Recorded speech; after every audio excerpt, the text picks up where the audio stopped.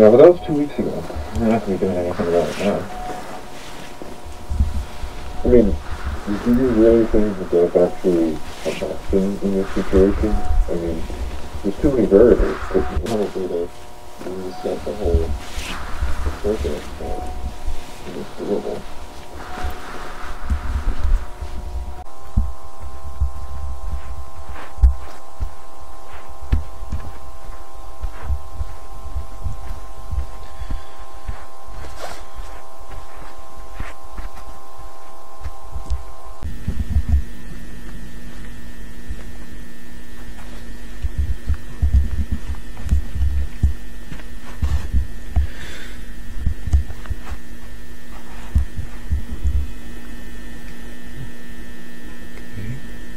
Okay.